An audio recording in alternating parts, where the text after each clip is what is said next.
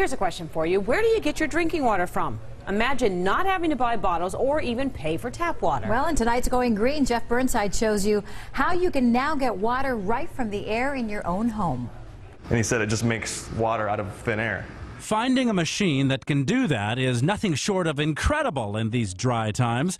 But as this Miami businessman has found, the technology to create it is incredibly simple. The dehumidifier system is for many, many decades, actually. Um, it's really the, the, the, opportunity of using an old technology with a sophisticated filtra filtration system. EcoloBlue 28 is the brainchild of Tieleman's associate Wayne Ferreira, a professional South African tennis player who got fed up with the amount of plastic bottle consumption at tournaments.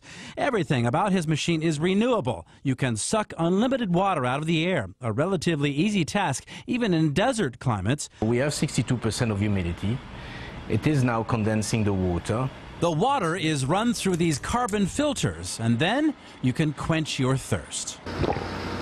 This machine can generate up to seven gallons of water in a 24 hour period. It stops when the tank is full and starts as soon as you begin consuming. It uses 500 watts per hour, half of what you'd use with a halogen lamp or a microwave. Not only you reduce the plastic consumption, so it's good from an ecological standpoint, but on top of it, you have a water quality, uh, water quality that is extremely high at a very reasonable price.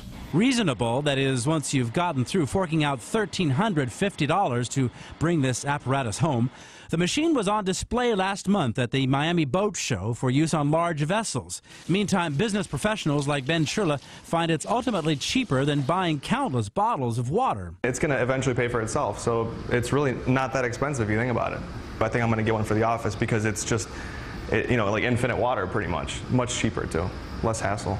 These home units are just the beginning. Blue is also looking at industrial machines that could help water shortages in the South Florida community, as well as poor nations where fresh drinking water is even more scarce. In any case, it's an opportunity to save the planet and the humans. I think the most interesting ideas come from the very simplest technologies. Jeff Burnside, South Florida Tonight and find out more about where the machine is available and to check out other stories from our award-winning series, log on to NBC6.net and click on the Going Green link.